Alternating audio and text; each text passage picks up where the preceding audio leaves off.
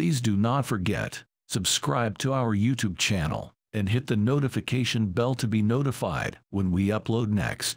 What's thought to be the largest Halloween carnival in the country will not be happening this year, according to a post on the City of West Hollywood's website. The City of West Hollywood is reminding the community and the region that the city's annual Halloween Carnival has been canceled for 2022 in accordance with protecting health and safety during the city's response to the COVID-19 pandemic, reads an undated post on the city's website. Interestingly, however, West Hollywood's annual Pride event still happened on June 3 to 5 this year. Daily COVID case numbers on that date in Los Angeles were just about where they are today, except in June they were on their way up, while today they are on their way down. That's according to the ELA, Public Health COVID Data Dashboard. WeHo officials told Los Angeles Magazine today that decisions regarding the Halloween Carnival were made at a public city council budgetary meeting on June 27th.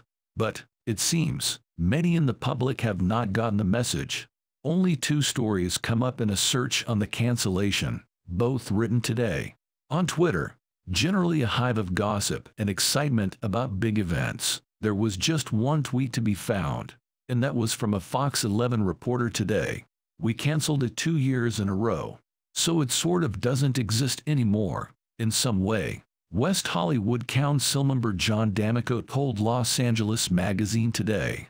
Many of us experienced, in some way, a kind of a sense of relief.